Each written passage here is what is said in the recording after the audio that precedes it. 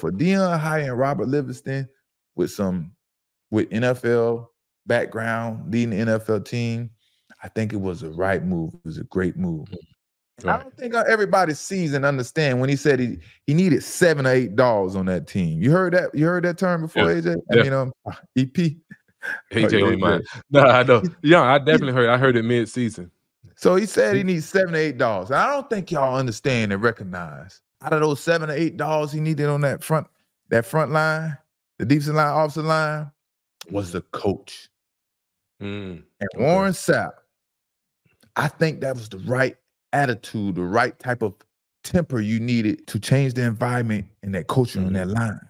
You know right. what I mean? And I think that was a good pick. Now, when we're off the field, I don't know. I don't, hey, I'm just talking about strictly on the field, going to practice, mano a mano. He getting it out of the kids, teaching them how to be tough, technique, get quick off the ball, and stuff like that. Hey, when they right. leave the practice facilities, I don't know what's going on. I'm just talking about that was the seven or eight dog right there, Warren Sapp. And I don't think mm-hmm. people recognize that because you could bring them dogs in, but who gonna get that dog out of them?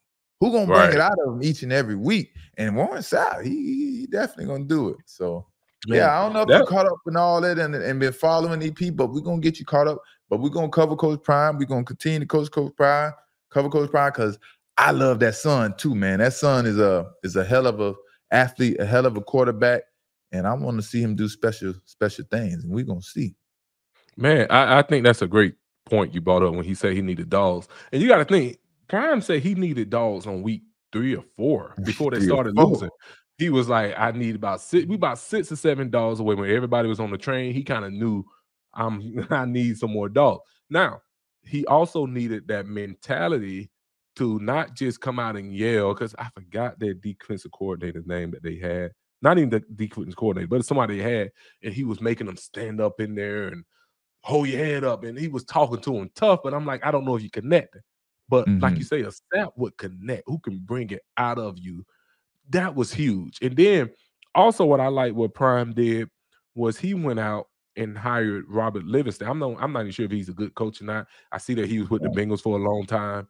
Exactly. Uh, he kind of came up through their system. I think he's smart because he's a DB guy. He coaches the DBs, like mm-hmm. the safeties. Like he, he's that guy. So maybe him and Prime can relate and figure figure out like if you can understand that they can get some stuff done. I don't know the connection of actually hiring him, but smart move because most people would think he would make the Hollywood move and just hire a homeboy or somebody he knows, like you say, Ray Lewis or anybody, come coach these boys.